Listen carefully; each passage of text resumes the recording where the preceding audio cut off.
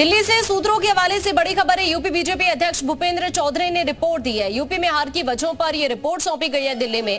कल दरअसल पीएम मोदी गृह मंत्री अमित शाह से भूपेंद्र चौधरी ने मुलाकात की थी और मुलाकात के दौरान ही ये रिपोर्ट सौंपी गई है। चालीस हज़ार कार्यकर्ताओं से फीडबैक के आधार पर। यह पंद्रह पेज की रिपोर्ट को तैयार किया गया, जिसे कल सौंपा गया है। सभी छह क्षेत्र में आठ फ़ीसदी बीजेपी का वोट शेयर गिर गया है। पश्चिमी यूपी की बात कर ले ब्रज अवध क्षेत्र में वोट शेयर घट गया है। कानपुर, बुंदेलखंड, काशी में भी वोट शेयर घट गया है। गोरखपुर क्षेत्र में बीजेपी का वोट शेयर घटा है। रिपोर्ट में कार्यकर्ताओं के असंतोष का ज़िक्र है। जिला लेवल पर थानों में सुनवाई नहीं होती, इस बात का ज़िक्र है। अग्निवीर योजना का भी ज़िक्र किया गया है। संविधान के मुद्दे का भी रिपोर्ट में ज़िक्र किया गया है। टिकट वितरण में जल्दबाजी की बात को कबूला गया है। मौजूदा प्रत्याशियों के अहंकार का भी ज़िक्र है। विधायक सांसदों में दूरी की बात का ज़िक्र है। पेपर लीक जैसे मुद्दों का रिपोर्ट में ज़िक्र है। कार्यकर्ताओं की उदासीनता का भी रिपोर्ट में ज़िक्र किया गया है।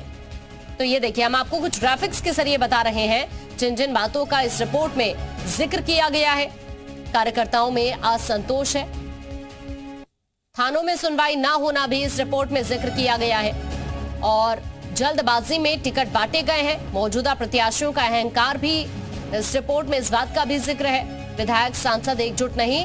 ये अग्निवीर योजना से असंतोष की स्थिति पैदा हुई है। सूत्र ऐसी जानकारी देते हैं कि इन सभी बातों का इस रिपोर्ट में ज़िक्र किया गया है।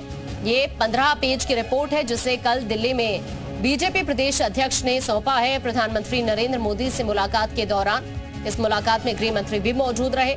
ये चालीस हज़ार कार्यकर्ताओं से फीडबैक लिया गया और उसी के आधार पर ये रिपोर्ट तैयार की गई है, जिसमें सूत्रों के हवाले से ये जानकारी मिल रही है कि इन सभी बातों का ज़िक्र है जो स्क्रीन पर हम आपको दिखा रहे हैं। तो हार को लेकर पार्टी समीक्षा कर रही है और इसी को देखते हुए ये एक रिपोर्ट तैयार की गई है, क्योंकि अभी उपचुनाव भी होने हैं। 2027 में विधानसभा के भी चुनाव है उत्तर प्रदेश में। तो ऐसे में अब पार्टी ने इस पर मंथन शुरू कर दिया है कि आखिरकार ये जो हर एक क्षेत्र में वोट शेयर घटा है, इसके पीछे की वजह क्या है? या फिर क्या वो कमियाँ रही हैं जिन्हें अब आगे आने वाले टाइम में देखते हुए ही रणनीति तैयार करनी है आगामी चुनाव को देखते हुए?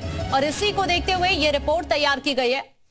और कल ही बीजेपी प्रदेश अध्यक्ष ने प्रधानमंत्री नरेंद्र मोदी से, साथ ही गृह मंत्री से मुलाकात के दौरान ये पंद्रह पन्नों की रिपोर्ट है जिसे सौंपा है, जिसमें कई महत्वपूर्ण बातों का ज़िक्र किया गया है।